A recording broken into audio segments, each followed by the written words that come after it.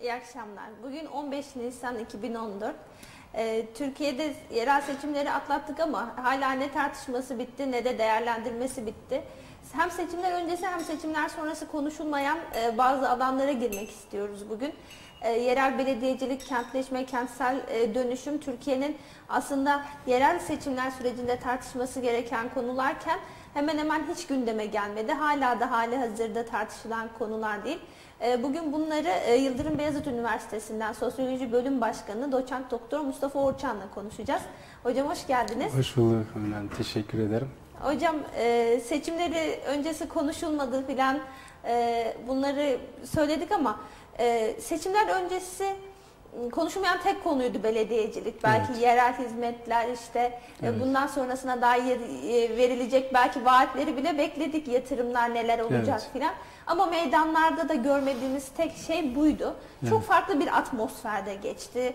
Ee, bunu nasıl değerlendiriyorsunuz? Daha önce Türkiye'nin tecrübe etmediği, e, evet. belki yaşamadığı e, bir şeydi, bir atmosferdi. Evet.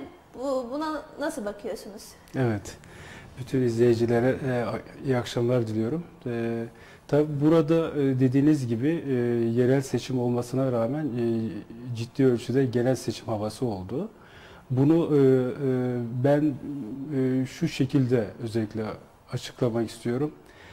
Yani eğer bir e, kişi e, kendi alan, benim şu alanım dediği halde o alanda uzman değilse, tam olarak yetkin falan değilse, e, o zaman e, başka alanlara kayar ve başka alanlara müdahale etmeye çalışır.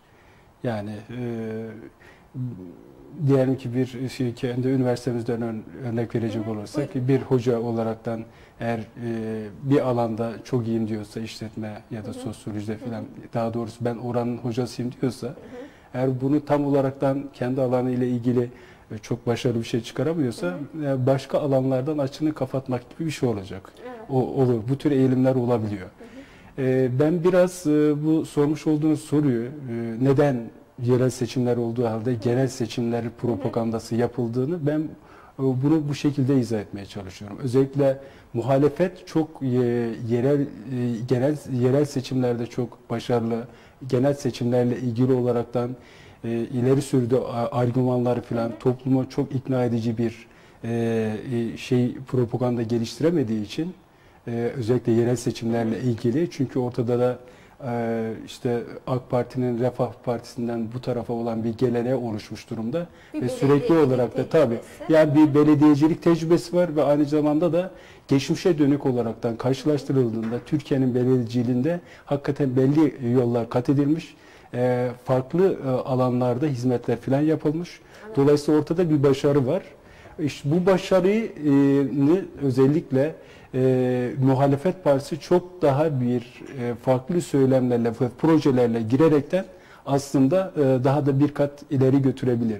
Fakat biz bunu göremiyoruz. Bir proje mi üretilmiyor? Yani bu böyle şu şunu söylemek istiyorum. Yani muhalefet partisi muhalefet hı hı. uzmanlık alanıysa normal şartlarda eğer çok başarılı olsaydı başka bir e, genel seçim e, e, performansına ya da propagandasına gitmeden hı. Bunun üzerinden yapılabilirdi. Aslında AK Parti'nin de yerel seçimde yerel e, özellikle bazdaki hizmetlerine, belediyeciliğine falan bakıldığında bir takım eksiklikleri var. Tamamlanması gereken eksiklikleri var. Ve bu eksiklikler üzerinden mesela bu aslında e, eleştirel açıdan bakılabilir. E, e, ve propaganda olaraktan da etkileyici olabilirdi. Eksiklikler üzerinden bir proje üretilip bunun evet. üzerine bile gidilebilirdi diyor. Evet ama bunu yaparken de kendi e, e, belediyelerindeki hizmetlerin de hı hı. tabii ki başarılı olması lazım. Yani eleştiri yaparken hı hı. aynı eleştiri de acaba siz belediyecilikte hangi noktadasınız, başarılı mısınız, değil misiniz diye bir e, soru sorulduğunda buna da cevap verebilir olmanız lazım.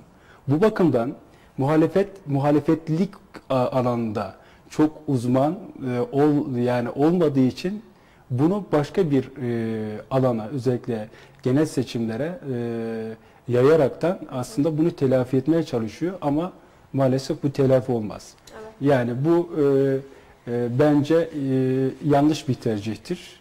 E, fakat bunun bence nedeni var. Nedir o neden? Yani en önemli dene- neden bence küresel iradelerle ilişki, ilişkilidir. Yani Türkiye'de yerel seçim olmasına rağmen gelen seçim havasında gitmesinin özellikle e, küresel iradeler ekseninde e, aynı zamanda Türkiye'deki seçimlerin yönlendirilme çabası var. Çok farklı bir tartışma vardı yani. Evet. Paralel yapıdır, cemaattir filan. Evet.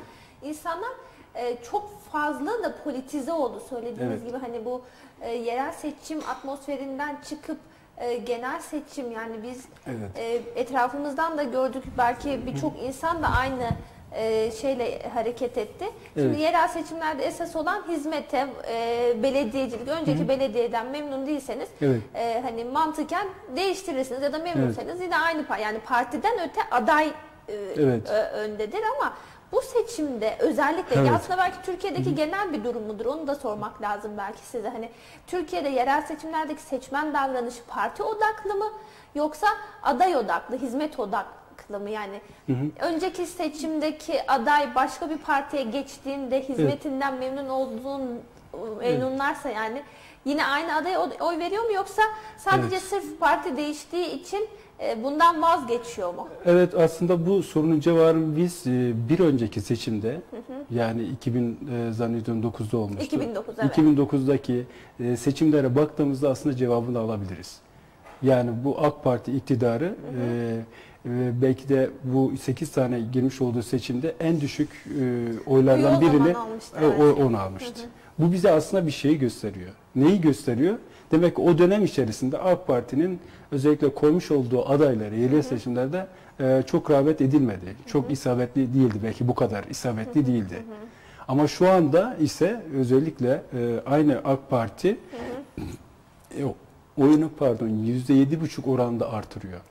Dolayısıyla e, bu e, dediğiniz anlamda e, adaylardan ziyade aday eksenli e, tercihlerden ziyade daha çok parti eksenli, parti söylem eksenli tercihlerin ön plana çıktığını görüyoruz. Evet.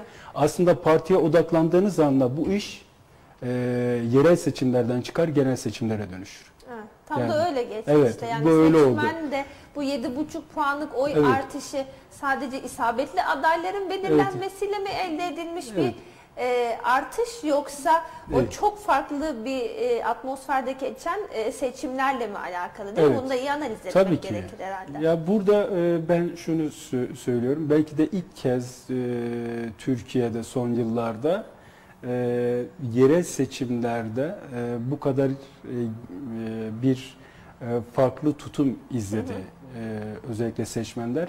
E, neden? E, çünkü dışarıdan müdahaleler vardı. Yani eğer bu e, seçim kendi haline bırakılmış olsaydı e, belediyeciliği tercih edecek bir mekanizma adına e, eğer oylar verilmiş olsaydı bazı yerlerde mesela AK Parti çok başarılı olamayabilirdi. Evet. Dolayısıyla bu verilen oylar AK Parti'ye özellikle de e, Sayın Başbakan'ın şahsına verilmiş oylar olarak Oylar. karşımıza çıkıyor. Evet. Böyle ben bu- bunun nedeninin özellikle e, iradeler ekseninde olduğunu düşünüyorum. Ya hangi Yani- iradeler etkili oldu peki? Evet. Hani seçimlerde seçmenin davranışını Evet. bu yöne kanalize eden biraz daha e, evet e, dediğiniz belki çok doğru. E, insanlar AK Parti'den ziyade Recep Tayyip Erdoğan için e, Evet. oy verdi. Adayları belki Evet. hiç umursamıyordu bile. Belki Evet. asla o adaya oy vermeyecekti ama çok Hı. farklı bir e, duruma geldi. Farklı bir zihniyet dönüşümü yaşadı belki. Evet.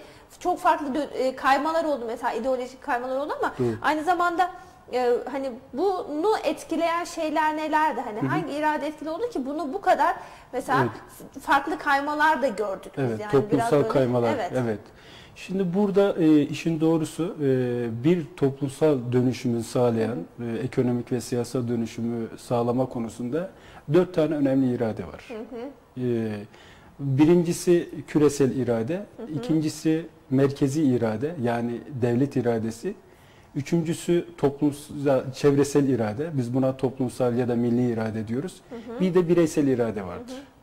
Dolayısıyla e, sadece Türkiye'de değil aynı zamanda e, tüm Türkiye'nin dışındaki ülkelerde de aslında etkin olan güçler bunlardır. Fakat bu belli dönemlerde belli iradeler ön plana çıkar. Yani Bu seçimden çok hangi irade Evet. vardı hocam? Bu seçimlerde özellikle Küresel e, irade. küresel irade önemli bir rol üstlenmeye çalıştı. Ruh hatta rol çalmaya çalıştı. Toplumda özellikle seçmenden rol çalışmaya e, almaya çalıştı. Dolayısıyla buna karşı da ama toplum kendi iradesine sahip çıkmış oldu. Fakat burada e, ilginç bir şey var. Türkiye e, ilk kez toplumsal irade ile merkezi iradenin bütünleştiğini görüyor. İlk kez mi oluyor? İlk kez yani merkezi irade dediğimiz şey devlettir. Dolayısıyla toplu, çevresel irade dediğimiz şey toplumsal iradedir yani milli iradedir. Şu andaki e, iradeye bakıldığında e, ilk kez belki de küresel irade karşısında e, bu iki iradenin birlikte hareket etmesinden dolayı küresel iradeye rağmen bir başarı var burada. Bu ilk kez gerçekleşen bir şey. Küresel irade ilk defa mı kaybediyor acaba? E, Türkiye'de? Küresel Böyle irade ilk kez girdiğinde. beklemediği bir sonuç aldı. Yani şundan dolayı söylüyoruz. Biz e, mesela e, Cumhuriyet'in ilk dönemleri falan bakıldığında buradaki e, hangi iradenin etkin olduğunu görüyoruz? Merkezi irade. Evet. Yani küresel iradeye karşı yeni kurulan Cumhuriyet e, savaştığı özellikle ülkelere yani küresel iradeye karşı, batıya karşı filan mesafeliydi. Dolayısıyla onlarla e, ticari anlaşmaları bile mesafeliydi. Ama 1950'den sonraki dönemlerde e, şey e, küresel irade ile bir merkezi irade arasında bir yumuşama süreci başladı. Evet. Yani bu e, Menderes döneminde. Fakat burada işin ilginç tarafı e, Cumhuriyet'ten e, kuruluşundan bu tarafa aslında çok da ön plana çıkarılmayan hatta baskı altında tutulan toplumsal irade ön plana çıktı. Ve e, Menderes dönemi unutal, unutulmazdır. Özellikle Anadolu halkının unutamadığı bir dönemdir. Neden?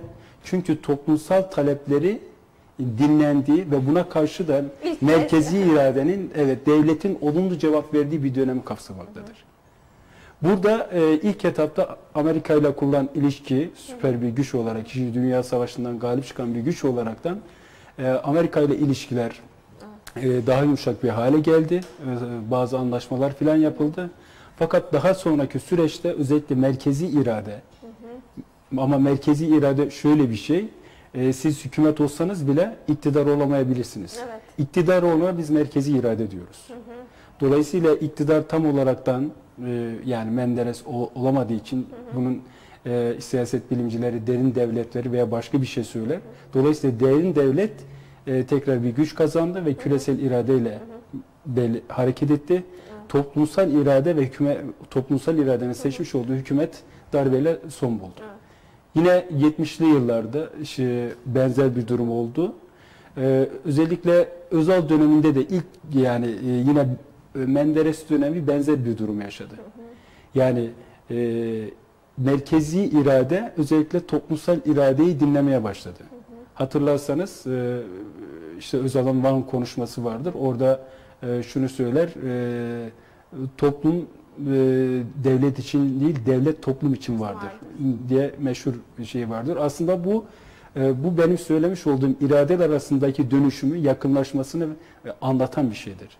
Ama e, Özal döneminde de yine e, küresel iradelerle ilk dönemlerde bir iyi diyalog vardı, sıcak diyalog vardı. Fakat daha sonraki süreçte özellikle derin devletle birlikte ya da başka argümanlarla filan birlikte bu defa e, e, tekrar o e, küresel irade bu e, toplumun seçmiş olduğu iradeye karşı bir hareket gerçekleşmiş oldu ve orada da sekteye uğradı.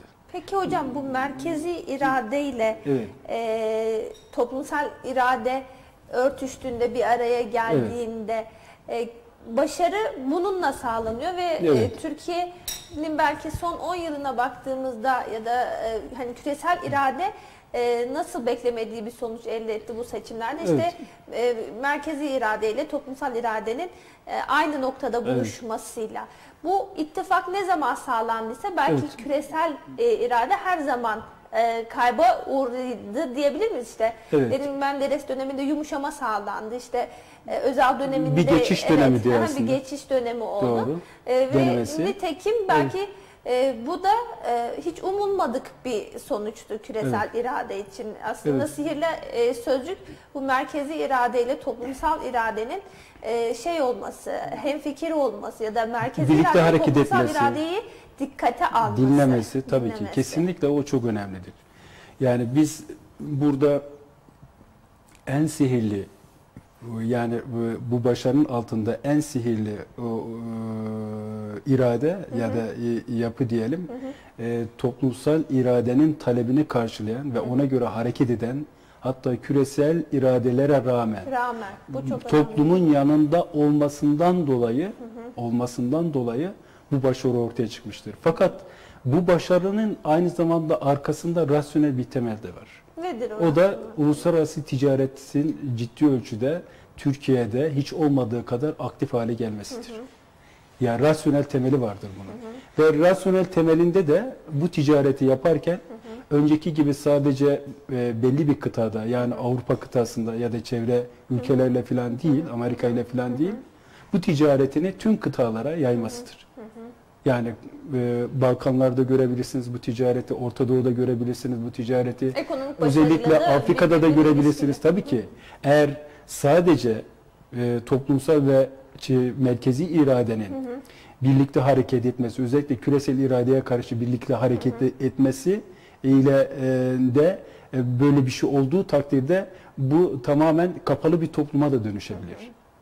Fakat Türkiye nadirdir. Yani küresel iradeye rağmen e, kendi toplumuyla birlikte hareket edip de açık toplumu hala devam ettiren nadir ülkelerden biridir. O açık toplum olmasında da özellikle e, Osmanlı'nın e, mirası çok önemli. Onu çok iyi değerlendirdi belli bir döneme kadar. Bazı küçük hatalar olsa bile onu evet bir insan sermayesi ve kültür sermayesi olarak değerlendirdi. Ve bunu aynı zamanda ticaretle rasyonel hale getirdi. E, bu bakımdan e, yani özellikle bizim mesela e, yardımlaşma derneklerimiz, birçok yardımlaşma filan derneği var, uluslararası dernekler. Bu alanda bence dünyanın ilk ve zannediyorum üç ülkesi arasında rahatlıkla girebilir Türkiye. Bu insani boyutta insanların yanında olduğunu hissettiren ama diğer taraftan da ticari olaraktan e, tek taraflı değil çift taraflı bir alışveriş ilişkisi ve kar e, ilişkisi ekseninde devam etmesinden dolayı Türkiye e, e, ekonomik anlamda ilerlemesine devam etti. Bu, bu bakımdan e, yani küresel irade e, tek bir alana sıkıştıramadı. Avrupa Birliği'nde kriz çıktığında ya da Avrupa Birliği kriz çıkarmak istendiğinde Türkiye bunu e, neyle sübvanse etti? Orta Doğu'daki ülkelerle. Neyle sübvanse etti? Afrika ya da Uzak Doğu'yla. E, son dönemde Alternatifi çoğaltarak. kesinlikle Evet. bu elini güçlendirdi. Bu önemli bir süreç. Peki bu e, toplumsal bir farkındalığın da ortaya çıktığını söyleyebilir miyiz? Çünkü Evet. e, toplum fark e, şunun farkında artık hani benim isteklerimi dikkate alan, bana hizmet etmeyi isteyen bir e, iktidar var ve ben Evet. bunun işte e, başbakanın da söylediği arkan, arkamızda duracaklar ya da Evet. halk cevabını verecek hani halk bu bilince ulaştı mı ya da bu hizmetleri gördüğü için e, dedi ki Evet. bu bana hizmet ediyor, benim isteklerimi dinliyor ve ben de Evet. e, o tüm senaryoya rağmen belki de Evet. işte bu tüm küresel güçlerin Evet. e, oyununa rağmen bu bilince ulaşmış diyebilir miyiz Türk halkı da hani hizmet edene karşı e, bu e, şeyi Evet. desteğini artık diyebiliriz ki sürdürecektir. Yani Evet. eğer siz hizmetkar olursanız, hizmet ederseniz Evet. bunun muhakkak ki toplumsal bir karşılığı olacaktır. Evet, işte bir rasyonel tarafı da bu. Evet. Yani e, bu seçimlerde insanlar özellikle bugüne kadar istikrarlı bir dönem yaşadığını e, ileri sürmektedir. E, Yani bir seçimler önceki özellikle bankaların e, durumuna, insanların özellikle herhangi bir şey satın alma, ev veya konut alma konusundaki eğilimlerine bakın. Bir de seçimlerden Evet. sonraki süreç. Çok böyle e, Evet. tedirgin bir süreç yaşandı Şimdi aslında, o mi? tedirginlik yavaş yavaş kalkıyor. Ee, ve insanlar da özellikle e, eğer hakikaten istikrarlı bir yaşam kalitesi falan varsa kendince bunu bozmak istemez. Şimdi eğer muhalefet partileri muhalefet partileri e, iktidar partisinden daha fazla bir özellikle beklentiye e, sokmuş olsaydı ama bu beklenti aynı zamanda karşılanabilir, yapılabilir, sürdürülebilir bir beklenti olmuş olsaydı Evet. farklı şey olabilirdi. Farklı davranabilir. Farklı davranabilirdi Evet. ama bu davranışı bile engelleyen, manipüle eden en önemli şeylerden bir tanesi maalesef özellikle e, milli iradeye karşı yapılan hareketlerdir. Bu algıyı görünce başka s- özellikle e, şeyleri, e, nitelikleri e, ve de te- tercihleri fazla ciddiye almıyor. Bu aslında bizim Türkiye'nin demokrasisi adına önemlidir. Yani benim seçtiğim herhangi bir iktidarı ancak ben kendim alırım. Evet. Başkasının herhangi bir müdahalesiyle, manipülesiyle falan olamaz. E, Çok manipülasyon Evet. yapıldı. Özellikle Evet. bu tam seçimler öncesi başlayan bir tartışma hala da devam ediyor nitekim. Bir Twitter tartışması vardı Evet. ve bunun üzerinden kopartılan bir özgürlük işte özgürlüğümüz elimizden alınıyor. Buna müdahale işte Evet. diktatörlük şu bu. Yani aslında uzun bir süredir devam eden bir söylem. E, Böyle bir yakıştırmalar hep devam ediyor ama e, mesela Twitter üzerinden çok üzerine gidildi bu yasak. E, Belki e, halk istediğini yani yasağın nedenini anlayamadı ya da e, manipüle etmek isteyen Evet. bunu çok iyi empoze etti ama Evet. e, bir şekilde e, bunların hiçbiri bu maya tutmadı. Yani Evet. ne e, sizin özgürlüğünüz bitecek ne işte Evet. e, yolsuzluk, hırsızlık filan. Bunların hiçbiri tutmadı.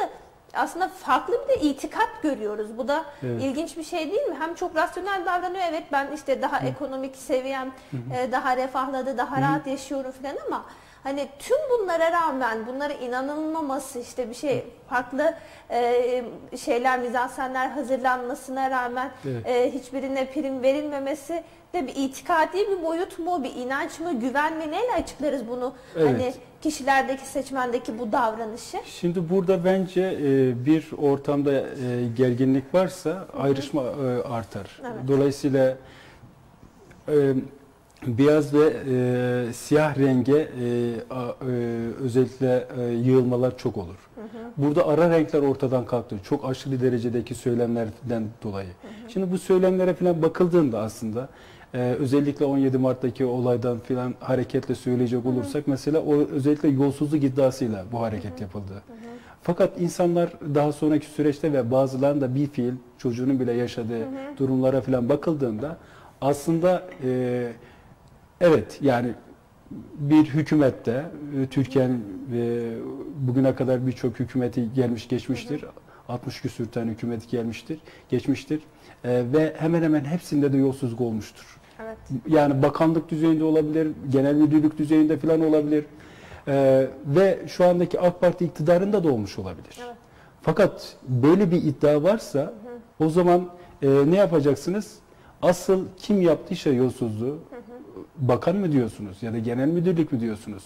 Onun üzerine gitmeniz lazım. Tüm hükümetin üzerine değil. Yani bu biraz toplum şunu algıladı. Yani düşünün bir ailede bir çocuk hırsızlık yapıyor ya da iki çocuk hırsızlık yapıyor 10 kişilik bir ailede. Tutuyorsunuz aile- diyorsunuz ki işte Pınar ailesi hırsızdır. Halbuki diğerlerin yani herhangi bir suçu yok. Dolayısıyla buradaki suç kişisel olması lazım. Yani e, delillerle birlikte kim yolsuzluk yaptıysa değil mi? Ahmet Mehmet. Ama burada hükümet olunca o zaman sıkıntı oluşuyor. Bu, bu yüzden insanlarımız bunu çok inandırıcı bulmadı. Bir başka inandır- inandırıcı bulmayan şey ise özellikle bu sınavlarla ilgili e, o ortada e, dolaşan özellikle haberler vardır ve hatta bazılarının yaşamış olduğu deneyimler vardır. Dolayısıyla bunlar da bir yolsuzluğun bir biçimidir. Bu bakımdan Tabii. yani eğer böyle bir şey varsa bu iddia ispatlandığı takdirde ki bu ciddi bir iddiadır. E, çünkü 2009 yılında hatırladığımız kadarıyla polislik sınavları iptal edildi. Evet. Evet. Ve bazı e, özellikle dava açılmak istendi fakat e, bazılarına izin verildi, bazılarına izin verilmedi. Dolayısıyla bir e, yolsuzluğun olduğu bir sınavdan hareketle bunları eğer yapanlar varsa bunları yapanların yolsuzluk üzerine gitmesin ne kadar doğru, ne kadar e, özellikle toplum tarafından karşılığı olabilir. Kendi içerisinde tezat oluyor. Bu bakımdan bu bakımdan e, yani buradaki özellikle halkın e, e, genel olarak değerlendirmesine falan bakıldığında e, bu aslında e, bir yolsuzluk hareketi midir yoksa iktidarı e, ele geçirme hareketi midir ve bu iktidar kim tarafından yönlendirilmektedir? Hangi irade ya da iradeler tarafından yönlendirilmektedir? Bu konuda e, Türkiye toplumu e, bence e, bu yolsuzluk iddiaları e, denilen kesimi ikna edici bulmadığı için kendi tercihini bu de bulmuştur. Hatta daha fazlasını bulmuştur. Demokrasi adına da iyi bir Evet. sınav vermiş oluyor aslında değil Ee, mi? Belki bence de yani yolsuzluk yok demiyoruz. Yolsuzluğun da kesinlikle üzerine gidilmelidir. Evet. Ama bütün yolsuzlukların üzerine gidilmelidir. Evet. Bütün yolsuzlukların. Ve yani yolsuzluk yapanın evet ihalelerden tutun da sınavlara kadar evet temiz toplum istiyorsak bunların üzerine gidilmesi lazım. Ya dolayısıyla tek taraflı bir şey değil. Tek taraflı olduğu zaman o zaman birinin bir çıkarı var ve bu çıkarına ya da e, bir amacı var. Bu hedefe ulaşmak için bunu bir araç olarak kullanıyor. Evet. A- gelir. O özellikle Twitter'la ilgili söyleme şeylere bakıldığında aslında e, biz hatırlarsanız dört tane iradeden bahsettik. E, en altta duran e, Bireysel. yumuşak bir irade olarak bireysel Evet. irade. Bu e, Twitter olsun, e, Facebook olsun ya da tu- YouTube gibi tercihler aslında bireysel iradenin en hakim olduğu alandır. Evet. Ve insanlar burada e, kendini e, özellikle gerektiğinde küresel iradeye karşı, gerektiğinde Müthiş bir özgürlük alanı. evet aynı devlet iradesine karşı, gele, gelenek ve göreneklere karşı mesela böyle bir özgürlük alanı olarak görüp buna göre e, özellikle e, bireysel birey e, insanlarımız buna göre buradan kendi mesajını, duruşunu sergilemeye çalışıyor. Evet. Fakat bu öyle bir şey oluyor ki bazen bu küresel irade bu bireysel iradeleri toplayıp bir cemaate dönüştürebiliyor. Nasıl bir cemaate dönüştürebiliyor? Gezi Parkı'daki olduğu gibi. Ya da nedir? Nasıl bir cemaate dönüştürebilir? Bir futbol e, cemaatine Evet, dönüştürebilir. Gezi Parkı'nda mesela Evet. Twitter üzerinden çok hızlı bir e, toparlanmanın, işte harekete geçmenin, örgütlenmenin olmasını mı kastediyorsunuz? Küresel iradenin Evet. bireysel iradeye bu şekilde Tabii ki. yönlendirmesi Tabii. ve bir yere kanalize etmesi noktasında. Tabii ki yani e, Amerikan ya da işte İngiliz kanallarının falan gelip burada canlı yayın yapması, hatta bazı olmayan olayları e, özellikle e, e, istatistikler vererekten o e, olmuş gibi göstermesi. Evet. E, yani bu aslında bu e, iradelerin, küçük iradelerin, bireysel iradenin yönlendirilmesi anlamına gelir. Evet. E, Burada da e, sıkıntılar var. E, Ve ben buradan hemen şunu özellikle söylemek istiyorum. Bir ciddi bir çelişki olarak buna dikkat çekmek istiyorum. Yani e, Mısır'da da bir biliyorsunuz e, eylem oldu. Özellikle e, diktatörlüğe karşı Evet. e, meydanlarda Orada da çok büyük gösteriler ve bir sosyal medya sonuçta. üzerinden falan toplandı. Evet. Evet Twitter'daki o bireysel iradeler e, özellikle aktif hal, Facebook haldeydi. bile denildi birçok yerde Evet, değil Facebook mi? devrimi oldu ama bu Facebook devrimi bu demokratik talepleri tekrar nereye havale etti? Kimi iktidara getirdi? Yine darbeyi. Ne diktatörleri iktidara getirdi. Bu bakımdan yani e, bireysel bu e, irade yani dediğimiz Twitter veya da Facebook'ları e, e, küresel iradeler ya da hangi irade güçlüyse o Çok rahatlıkla kullanılabilir rahatlıkla alan değil mi? kullanılabilir. Evet. Yani Twitter bir özgürlüktür ama bu özgürlükten ne çıkarıldı Mısır'da? Darbe çıkarıldı. Darbe çıkarıldı. Anlatabildim mi? Peki Ukrayna'ya falan baktığımızda da orada da yine Facebook Evet, evet. cemaatleri falan vardı. Çok fazla. Ama burada ilginçtir. Yani bununla toplanıp ve ondan sonra da e, önceki yönetimin alaşağı edilip yeni yönetimi geçtikten sonra küresel iradenin iki kolu var. Bir işte Avrupa ve Amerika, ikincisi de Rusya, Kanada. Dolayısıyla burada küresel iradelerde bir ayrışma olduğu için her yer Mısır değil, her yer Türkiye değil. Evet. Ve bu harekete karşı Rusya e, e, gücünü gösterdi E, ve e, e, kasıyla bu işi halletmeye çalıştı. Dolayısıyla her yerde sizin bu işte demokratik gibi gösterilen e, e, işte Facebook falan gibi sosyal medyayla e, e, e, yönetimi değiştireceğiniz bir şey değildir. Böyle bir algı Yok. oluştu ama, Ama değil mi? evet bu algı oluşmuştu ama bu algını tersiye, tersine çevirdi. Evet. Yani bu bakımdan e, buradan e, hakikaten bu sosyal medya hareketlerini e, hani sokak hareketleri diyoruz ya. Farklı onun gibi şey, aslında sosyal medya hareketlerini, ağ hareketlerini de e, bence çok iyi değerlendirmek lazım. Her iki taraflı değerlendirmek lazım. Yani sosyal medyanın ilk algısı, özgürlük falan algısı şu anda bence tartışmalı. Bir başka önemli şey bence Türkiye adına konuşacak olursak burada özellikle yani Twitter'ın bir ara biliyorsunuz yasaklandı. Neden? Şu kadar şikayet olmasına rağmen maalesef bu şikayetleri ciddiye alınaraktan bire insanların özellikle hakkını, hukukunu çiğnemiş Evet. ya da Evet. onlar hakkı aleyhine yazılmış olan e, sayfaları kapatılmadı. Bu defa devlet ne yaptı? Karar verdi ve bunlar kapatıldı. Kapatılması uygun bir şey değil. Ama diğer taraftan özellikle bireylerin özellikle benim hakkımda ya da sizin hakkınızda herhangi bir e, sayfadan yalan yanlış haber varsa eğer Twitter'da bunu ka- kabul etmiyorsa bu o zaman özgürlük değildir. Anlatabildim mi? Evet. Yani insanların birbirinin hukukunu çiğnediği bir alan özgürlük alanı olamaz. Eğer e, Facebook veya da Twitter bireysel özgürlüğü e- eğer önemsemiş olsaydı, bireysel özgürlüğü eğer önemsemiş olma, olsaydı o zaman bunları e, Bu kişilik kapatırdı. haklarına olan kişilik hakları tabii ki. lazım. Tabii ki.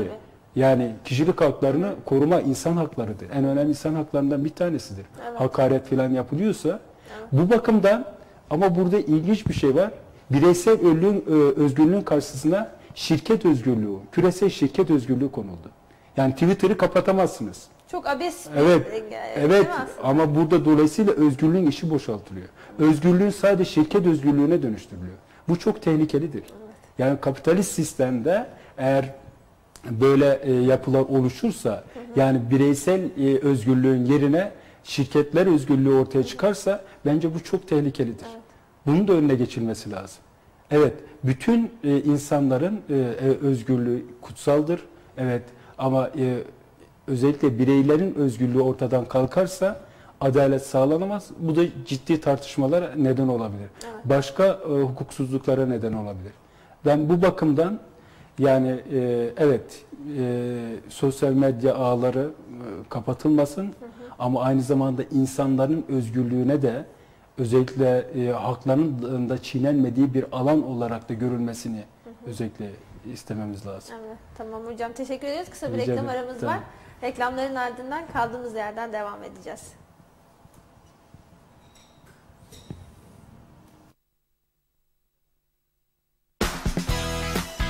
Reklamların ardından kaldığımız yerden devam ediyoruz.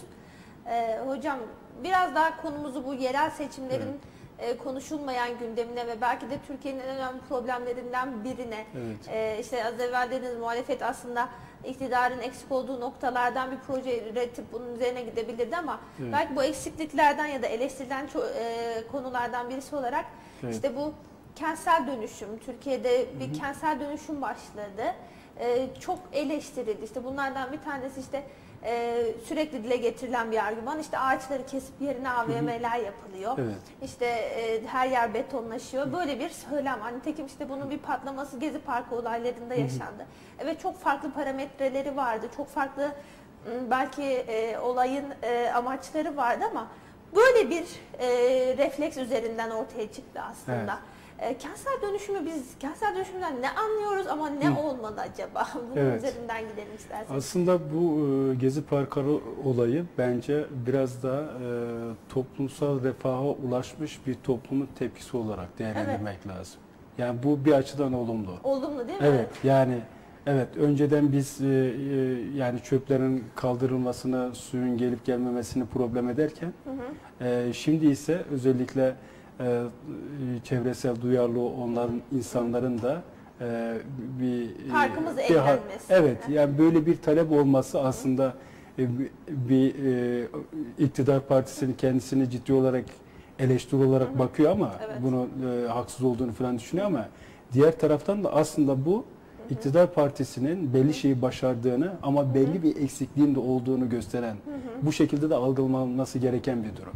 E, bu bakımdan e, Türkiye'nin kentleşme problemi özellikle İkinci Dünya Savaşı'ndan sonra oluşan, 45'lerden sonra oluşan gece kondularla başladı. Evet. Dolayısıyla ilk gece kondular 45'lerden sonra görüldü Türkiye'de. Yani özellikle 50'li yıllarda sanayileşme arttıkça, özellikle 80'li yıllarda e, müthiş derecede köylerden kente geldi ve şehirlerimiz maalesef hazırlıksız yakalandı. Burada evet yani e, özellikle vatandaşlarımız yoksuldular. Fakat devlet de yoksuldu. Fakat bu yoksulluğu ortadan kaldırabilecek özellikle zihinsel bir güç, e, entelektüel bir özellikle e, grup e, bu anlamda iktidarlarda e, pek olmadığını görüyoruz. E, bu bakımdan biz aslında 2000'li yıllara kadar e, plansız kentleşmenin e, sonuçlarına katlandık. Evet. Yani Çarpık kentleşme. çarpık kentleşme ne merkezi hükümet bununla ilgili çok ciddi önlemler aldı, projeler geliştirdi ve bu projeler uyguladı. Ne de yerel yönetimler e, bu e, akın akın gelen köyden kente akın akın gelen nüfusu karşılayacak bir imkan sundu. Evet. Altyapı hizmetleri sundu. E, dolayısıyla burada ben o yüzden Türkiye'nin e, Cumhuriyet dönemi kentleşmesine bakıldığında iki döneme ayırıyorum. Bir plansızlıktan kaynaklanan e, kentleşme problemi bir de özellikle AK Parti iktidarından sonra planlamadan planlama ile birlikte e, ortaya çıkan kentleşme problemi. Plans- Planlama ha, olduğu halde nasıl bir kentleşme problemi Evet, yanlış planlamaktan Yanlış planlamaktan, Evet. Dolayısıyla yanlış planlamaktan kaynaklanan e, En kentleşme dediğimiz plansızlık şey kadar da zararlı kesinlikle bir şey oluyor değil mi? kesinlikle. Yani nedir o mesela? Ee, şu anda işte Ankara'nın e, önemli semtlerinden biri olan Çukur, Çukurambar'dayız. Buradan örnek verelim. Evet. Ee, burası özellikle yakın döneme kadar bu kadar yüksek binalar falan yoktu. Evet. Evet. Gece kondular neredeyse. olan Evet, gece kondular vardı. Oldu. Dolayısıyla 10-15 yıl içerisinde müthiş derecede e, burada binalar yükseldi ve buradaki özellikle e, arsa ve e, kat ranta arttı ve buraya bir akın oldu. Hem yani Kızılay'a falan da merkeze de yakın olmasından dolayı. Fakat bu kadar yüksek binalar yapılırken acaba bu nüfusu bu e, şeyi bu yol bu, trafiği bu yollar karşılayacak mı? Çok ciddi bir trafik problemi var nitekim. Evet, neden? Evet. Çünkü çünkü bu yollar 30 veya 40 yıl önce de aynıydı. 3 aşağı 5 yukarı. Ee, sokak aynı sokak. Yani e, işte 6 metre. Cadde diyelim ki 15 metre. Ee, önceden e, en yüksek bina burada 8 9 katlıyken yine sokaklar ve caddeler aynı e, Ölçüde. metrede kalmış olmasına rağmen binalar yükme, yükselmiş. Dolayısıyla Nüfus nüfusu ve trafiği karşılayamıyor. Bu yüzden biz binaların yüksekliği ya da orada oturan insanların nüfusu kadar yolların genişletilmesi lazım. Bu bakımdan e, en büyük problemlerden bir tanesi özellikle planlı dönemde yanlış planlamaktan kaynaklanan kentleşme problemleriyle karşı karşıyayız diye diyorum. Bir de gece kondu önleme bölgeleri var Evet. hocam. Bu da planlı yapılan bir şeydir nitekim. Hani gece kondulaşma olmasın diye devlet orada biraz daha hani dar, dar gelirli vatandaşa yönelik hani belki TOKİ'yi de buna içine dahil edebiliriz ki TOKİ de çok eleştirilen özellikle hani Tabii. e, fiziki şartları itibariyle eleştirilen bir konu. Gece kondu önleme bölgesi e, ben Evet. hani Konya'dan Kuzey, biliyorum. Evet. Kuzey Ke- Ankara kenti. Aha, Ankara gibi, Konya'da Mamak. işte Bosna Hersek Mahallesi gibi öyle şehir e, bir muhit oluşmuş oldu ki bir kere çok sağlıksız, Evet. kalitesiz yapılar yapıldı. Evet. Hani bu devlet eliyle yapılmadı Evet. geçmiş dönemde. Şimdi TOKİ ile belki bir standart sağlanmıştır e, diye düşünüyorum ama bu bu da hani planlı ama plansız yani sağlıksız bir planla ortaya çıktı. Evet. İşte biz e, 15-20 katlara kadar e, şey çıkarıyoruz, kat planı veriyoruz, ruhsatla izin veriyoruz ama yollarda herhangi bir şey yapmıyoruz. Hani bunun önceliği siz eğer bu e, apartmana, bu arsaya, bu e, Evet. kat için ruhsat almak istiyorsanız evvela bu yolların genişletilmesi Evet. gerekmez mi? Yani bunun Evet. önce yol yapılıp sonra e, apartmanların ya da e, şeylerin blokların dikilmesi kentleşme mantığı içerisindeki Evet. sıra bu mudur? Yani Aslında- böyle mi olması gerekir? Aslında Konya e, Türkiye'de en düzenli kentlerimizden Gece biridir. konusu olmayan tek Evet. il diye biliyorum ben ama. Evet, Yeni gece Bosna. Yeni Bosna'da Evet. sonradan kurulan ben Evet. e, oranın kısmen o dönemine şahit oldum. Orada bir e, ya- yaşamışlığım falan da var. Aslında orada ilk önce altyapı yapıldı, sonradan binalar, kooperatifler falan kuruldu. Evet. O yüzden ama çok böyle kalitesiz. E, kalite- Yani Allah korusun Konya bir deprem Evet. bölgesi değil ama Allah Kooperat- göstermesin. Hani deprem olmadan bile apartmanların çöktüğü bir il Evet. aynı zamanda. Evet, e, fakat e, en önemli sorun bir kentsel dönüşüm projeleri. Yani buradaki e, özellikle gece kondular yıkılıyor, yeni yeni binalar yapıyor. İşte Fikirtepe İstanbul'da çok eleştirildi mesela Evet? Fikirtepe e, olabilir. Bazı yerlerde ödül de aldı. Kentsel Hı hı. dönüşümle ilgili çalışmalarda filan ödül de alındı. Ama bazı yerlerde de çok beğenilmedi. Pardon. Bunun e, şundan dolayı şimdi TOKİ'nin e, ilk etaptaki yapmış olduğu şeylere, binalara falan bakıldığında e, nedir? Daha çok e, e, yani e, düz e, bir e, tek model e, bir Blok. bina anlayışı var. Tek model bir anlayışı var. Sosyal donatılar sınırlı. Evet. Ve e, bunları hangi insanlar göçüyor buraya? Özellikle tek katlı, bahçeli evlerden insanlar taşınıyor buraya. Dolayısıyla siz Sadece sadece evet, evet. yani kentleşme dediğimiz şey, inşaat dediğimiz şey, şey ya da konut dediğimiz şey e, sadece taş, toprak, e, e, demir e, filan değildir. Beton filan değildir. Evet. Onun ötesinde aynı zamanda siz kültürü taşıyorsunuz. Yani bir mahalle kültürünü siz apartman kültürüne sığdırmaya çalışıyorsunuz. İşte bu çok Evet. önemli bir problem oluyor Evet. aslında. Burada çok fazla Ankara'da bu Tabii civarda ki. var. Mesela Öveçler diye bir semt Evet. var.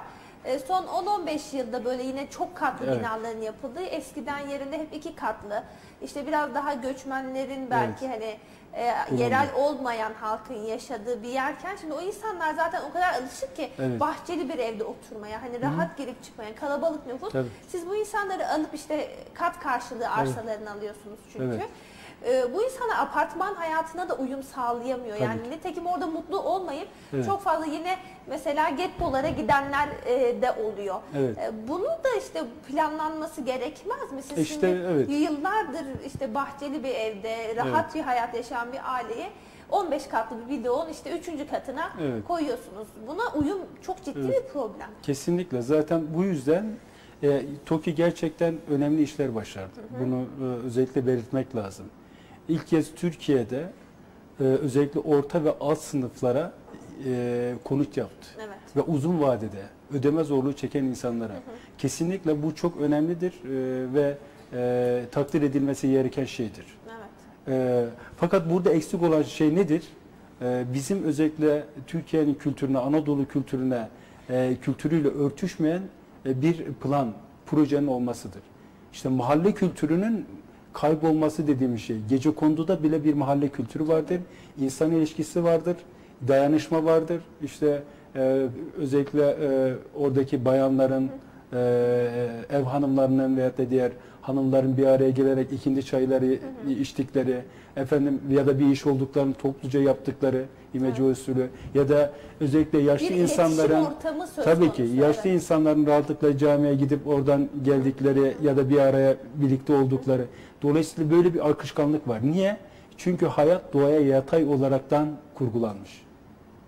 Şimdi ki şu andaki maalesef e, yapılan binalar e, doğamıza, şehrimize, kültürümüze hatta e, özellikle tarihi kültürümüze diklenen binalar yapıyoruz. Evet. Kendi kültürümüzde diklenen binalar Çok yapıyoruz. güzel Evet. ettiklerini. Dolayısıyla biz bu diklenen kendi kültürüne, toplumuna, değerlerine, mahalle kültürüne diklenen değil, onlara sahip çıkan e, bir e, mimari anlayış bekliyoruz. Yani kentsel dönüşüm eskiyi yıkıp yerine yeniyi yapmak Evet. mı yoksa eskiyi aslına uygun olarak dönüştürebilmek, Evet. modernize edebilmektir. Ben edebilmek mi yani Evet. hani burada bir e, algı farkı mı var? Bunun dünya örnekleri nasıldır kent, Evet. e, kentsel dönüşüm noktasında? Elbette bizden çok ileride ya da takip edebileceğimiz örnekler vardır ama hani yıkıp yenisini yapmaktansa aslına uygun dönüşüm, işte çevreye uygun dönüşüm, orada yaşayan insana uygun bir dönüşüm planlanamaz. Yani her yerde TOKİ böyle çok katlı binalar yapmasa da Evet. e, hani bu tabii ki maliyeti artıran bir şeydir insanların yaşamına e, uygun olması açısından daha az katlı, bahçeli Evet. belki insanlarla birlikte vakit geçebilir. Şimdi siz şehrin çok dışında bir yere Evet. e, çok katlı binalar yapıyorsunuz. İşte mesela camiyi çok sonradan götürüyorsunuz belki. E, işte dediğiniz çok önemli bir şey. Yaşlı adam çıkıp e, yürüyerek camisine gidemiyor. Bu, bu Evet. sefer onu eve hapsediyor. İşte Evet. sağlık problemleri ortaya çıkmaya başlıyor falan vesaire vesaire. Evet. Zaten zincir bir yerde bozulduğu zaman arkası hep e, bozuk geliyor. Yani Evet. bundaki bir zihniyet dönüşümü gerekmiyor mu sizce de? Evet, Evet. Çok, ki çok iyi işler yaptı ama her yerde, her alanda aynı sistem işlemiyor. Şimdi burada maalesef e, yani e, dediğiniz çok doğru. En enteresan olan da şu, e, Türkiye'de Mimar Sinan gibi bir dehanın yetiştiği bir ülkede yaşıyoruz, toplumda yaşıyoruz. Ama bu Mimar Sinan hiç bu ülkede yaşamamış gibi kentler yapıyoruz. Evet. Bu gerçekten düşündürücü bir şey. Yani Turgut Cansever mesela gelenekselini de bilen, modern de bilen bir mimarlığı anlayışa sahipti rahmetli. Ee, ve onda bir ideal vardı. Onda bir kay- kaygı vardı. O Bizim Türkiye'deki kent- de çok böyle Evet. tek mimardı belki. Turgut Maalesef. Değil mi? Tabii ki yani maalesef e, bu kadar Osmanlı ve Selçuklu gibi özgün mimari anlayışa sahip, mahalle anlayışına sahip, doğa anlayışına sahip bir kültürden nasıl oluyor da yani hiç bu e, kültürle haşır neşir olmamış ya da hiç böyle bir kültürün sahibi değilmiş gibi özellikle kentler kuruyoruz. Bence en düşündürücü olan taraf budur. Ya Necip Fazıl'ın bir e, sözü vardır, enteresan bir sözü. E, der ki, e, acaba bir toplum için şu iki kişiden hangisi daha tehlikelidir? Der ki, e, ama olan bir şoför mü daha tehlikeli? Yoksa bedi idraki olmayan bir şehri emin mi? Belediye başkanı mı daha tehlikeli? İkincisini daha tehlikeli bulur. Doğru. Yani bu çok önemlidir. Evet yani bir ama direksiyonu verdiğinizde e, kendisine, arabasına ya da birkaç kişiye zarar verebilir. Ama bir şehri emin dediğimiz Edep'te belediye başkanı eğer düzenli iyi bir planlama yapmazsa ya da meclis sadece belediye başkanı değil meclisler de önemli. Bütün partilerin orada temsilcileri var. Dolayısıyla onlar karar veriyor çoğunluk olaraktan. Ve bu bakımdan eğer bunlar yanlış planlama yapıyorsa, bazı şeyleri göz ardı edebiliyorsa, özellikle e, rantı filan hedefliyorsa, toplumsal yaşamı, kültürel yaşamı, insan yaşamını değil de e, bu mekanizmaları ön plana çıkarıyorsa en büyük tehlike odur. Ya bu bakımdan bence bu yerel seçimlerde keşke bunlar konuşulmuş olsaydı. Ben şu- şunu e, hemen söylemek durumundayım.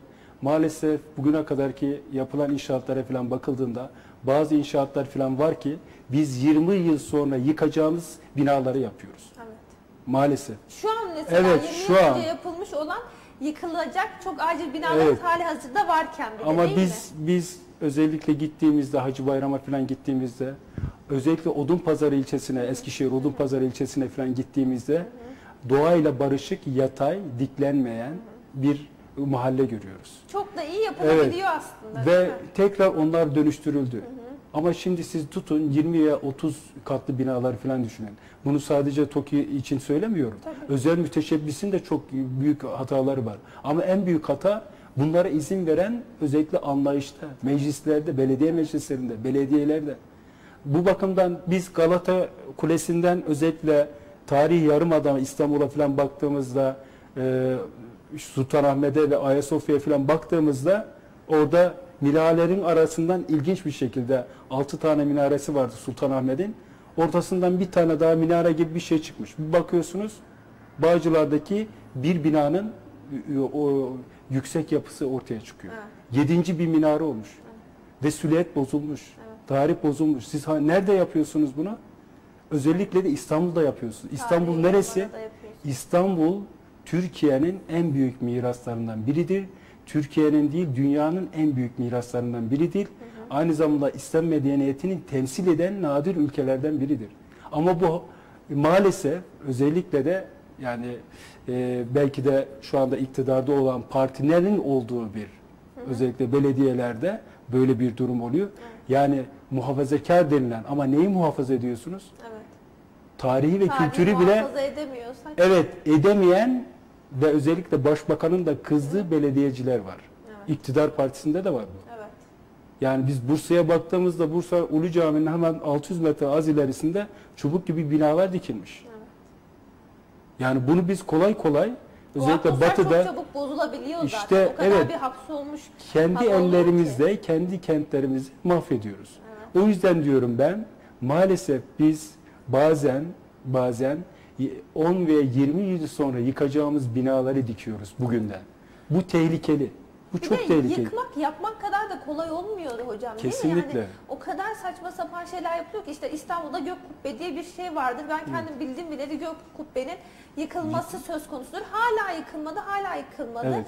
E, işte yapıyorsunuz bir şekilde ama yıkmak belki 20 yıl sonra yıkmak da Evet. o kadar kolay olmayacak. Bugün e, yapılması kadar kolay bir Evet. süreçte işlemeyecek.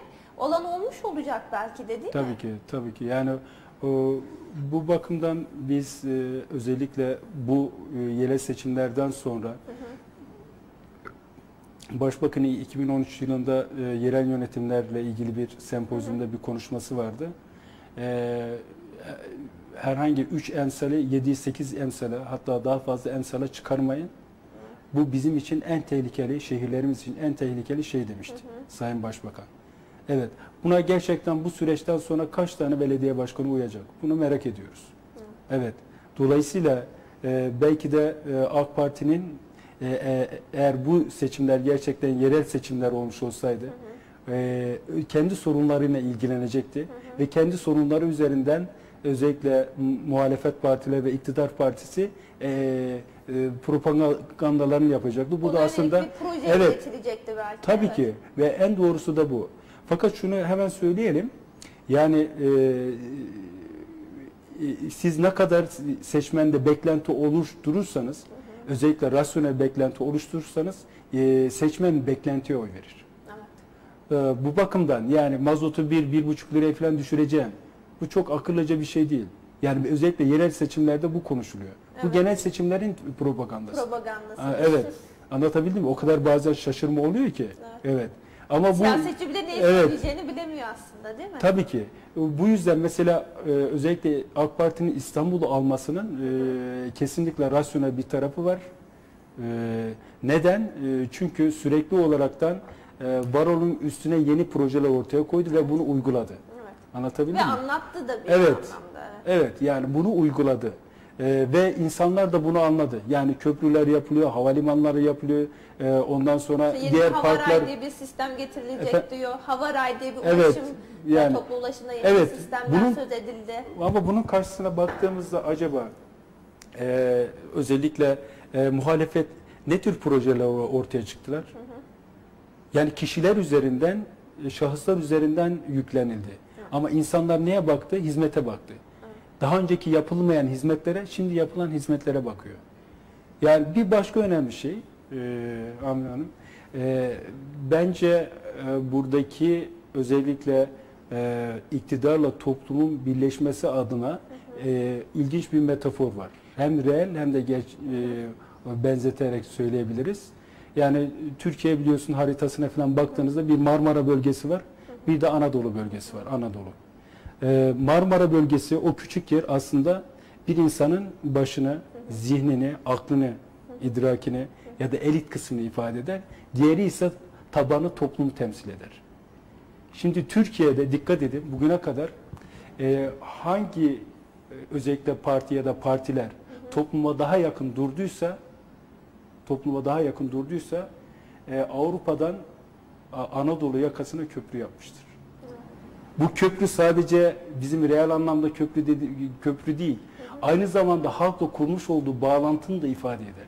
Doğru. Evet, bazıları çok elitisttir, halka yaklaşmaz. Evet, toplum içerisine girmez. Seçim oto- otobüsünden konuşur, e, konferans salon- salonlarından konuşur. Ama bazı liderler e, gerekirse gece konduya gider, gece kondudaki bir ailenin sofrasına misafir olur, çayını içer, yemeğini yer. Dolayısıyla halktan biri olaraktan telakki edilir.